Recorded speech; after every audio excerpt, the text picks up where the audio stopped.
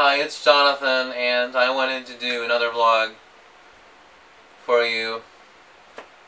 Um, hey, I'm a little nervous right now. Sorry, because yeah, I want to do another. I'm a perfectionist too, so um, but I've been thinking about you a lot. Um, all the time, but like especially this coming week, I've been thinking about you a lot because um, it's the one year anniversary of losing you. Sorry, I don't mean this to be awkward. Um, trying to be candid right now, so try to be honest. Okay, sorry. I'm nervous. But I miss you so much.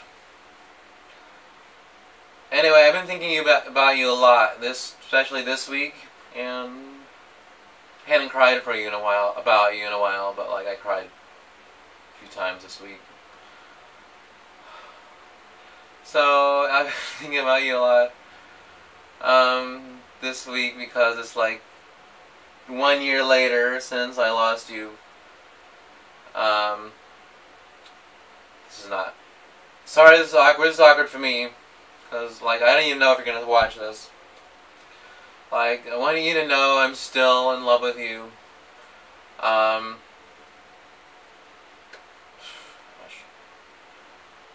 okay. Get through this, Jonathan. Get through this. Like, I, I'm to do this vlog. I have no idea how I'm to act. Like, like I wrote stuff down I'm gonna tell you, but um, like I have in my imagination, I have in my head of how I'm gonna act and what I'm gonna say to you. but I don't know. I like have all these emotions that have been going and running inside my spirit about you, and um, like I just wish I could. this one vlog, I just wish this vlog could do justice to how I'm feeling about you, how I feel about you, what I've been thinking about you, but like it'll just happen. The vlog will just will just happen. But like I'm still in love with you and um I guess I don't know, I guess I'm just crazy. It's like I feel like I just gotta ride it out being in love with you until I meet someone better than you. I can't imagine meeting someone better than you. Um, but like I feel like well, I want to be responsible for my telling you that I I love you and that I'm in love with you, I'm still in love with you and when I told you that in my last letter, I knew that the well, to me, just even saying that to me is that carries so much weight. Like my telling you I love you and my telling you that I'm in love with you, those mean something to me. I take that very seriously. It has a lot of weight to me when I tell someone that I'm in love with you, that I love you. So I want to be responsible. I take, I take responsibility for that. It's like I'm not going to just tell you I'm in love with you, tell you I love you, and just like it's so unfair. Like I tell you I'm in love with you, tell you I love you, and then you're gone from my life. Like, I guess it's, it's unfair for me. It's unfair for you that I don't. I want to be responsible for telling you that. I don't I hope this vlog doesn't go over 15 minutes. But um, like, I I'm trying to be realistic. that most likely you're not gonna watch this vlog. Most likely you have forgotten about me obviously haven't forgotten about me if you're watching this vlog right now. Try not to say your name. Okay, secret. um. Okay. But like, I, I'm being realistic that you are you probably have a boyfriend now. You will have a boyfriend, and you'll find someone better than me. Being realistic that you're parents won't let me have anything to do with you, Parents, My real, being realistic that um, you're upset with me, that I lied to you, that I hurt you. Um, so like, just trying to be realistic that you're not coming back into my life. Like Jonathan has to move on, and I'm crazy. So like, being realistic that I have mental issues, and like I'm crazy that I'm in love with you. It's like I'm just being mental. Like Jonathan is crazy. So yeah. Um, but anyway, like the slimmest chance that you would see this, like you deserve my honesty. You you, you deserve my faithfulness and you deserve this vlog. It's like I'm willing to be crazy for you. Like, like maybe I'll like you'll never come back into my life, and years later I'll see this vlog. I'll think, "Oh, Jonathan is crazy." Or maybe years later I'll find out that you despise me, and like you're so hurt by how I how I hurt you. Then I'm gonna years later I'll look at this vlog and say, "Jonathan, this is crazy. You did this vlog." But I'm, I'm willing to take that chance to look stupid. I'm willing to take that chance to be a fool and to, to just look completely stupid for you because you deserve you deserve my stupidity. You deserve my foolishness. Even though this is probably crazy doing this vlog. But that's why I'm doing this. I'm doing this vlog because I want to somehow be connected to you because I can't talk to you.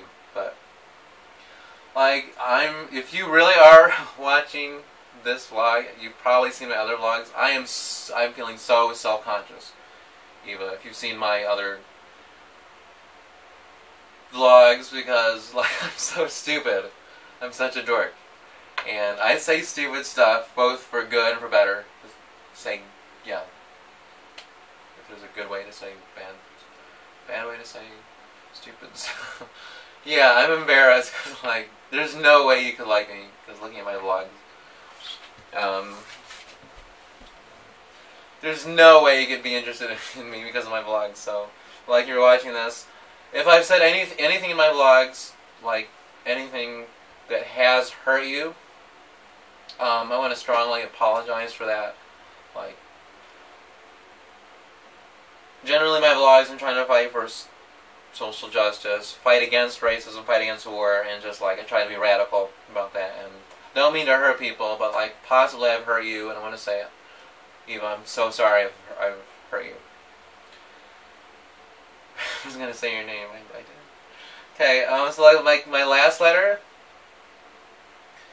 to you, I should probably do this vlog in two sections in case it goes over, but I'll try to get it done, okay. Um, I, I really should. I should do this vlog, because I, like, my account is set to go over 15 minutes for a vlog, so that's what I'll do. I'm to do, like, two vlogs. Because if you're watching this, like, no one else is going to watch it. Like, that's the deal. I'm going to do two vlogs for you because I don't want to go over 15 minutes. And I just want to express myself. And if you're watching this, obviously you have a interest in what I'm telling you. So, which is good news, very good news for me. Um, I'll say one more thing and I'll do another vlog. Because I don't want this vlog to be over 15 minutes. But last year, when I wrote my letter for you, my last letter for you, I told you I, I was in love with you. Except for telling the number, my the little number I gave about related the number related to me as a person and other things I did not say about myself. Like that was true. Everything I told you about how I felt about you is true. Um, I, I'm trying to say, like, first of all, like the night, I, I waited a week to see your response to my letter because I just, I just knew or I felt that it was going to be negative response. You weren't going to write to me ever again. You don't want to have anything to do with me. Like I wrote you that love letter, and I felt like you were, you was going to totally reject me and so I waited a week to check my email to see how you responded. Um, like that night, I read your letter. Is um, I think I told you about Amy before my emails to you. Well, that night, that was the first night I had seen Amy in a few years, and it's kind of complicated between Amy and I. Maybe I'll tell you later. But like I was looking forward, I thought that would be the greatest moment of my life to see Amy. I saw her at a, a coffee house that night at Blue Moose, and um, she told me she was engaged to be married, and she didn't want to have anything to do with me, and I was heartbroken. So that same night, I thought, well, I might as well just check my email, see what you had told me, because like I'm heartbroken because of Amy.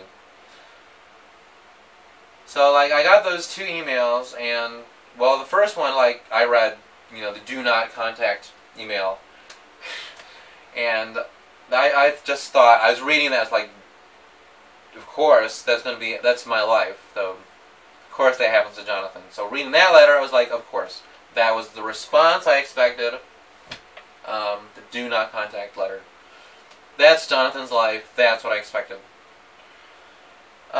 So I was not surprised by that letter. I don't know who I don't know who wrote that actually. I don't know if it was your parents or somebody else, like FBI, FBI or something.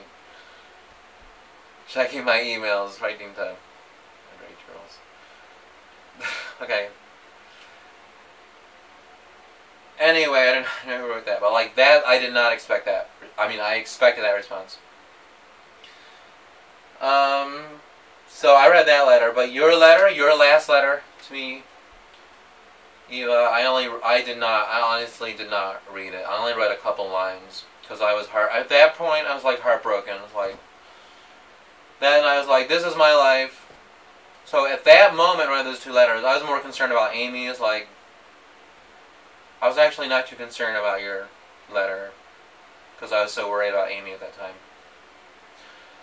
So, but I was I read two couple lines from your letter, and I'll be honest, I was bewildered, cause, well, at least I feel like I've never had that response towards me in my life before. Like, I did not expect you to have that response, and you wrote me that email. Like, so I was bewildered by your response. Um, I was shocked, to be honest. But let me, I'm gonna, okay, you, I'm going to break into two emails because I'm afraid it's going over. So go to the next, go to the next email, uh, go to the next vlog. I'll um, continue what I'm telling you.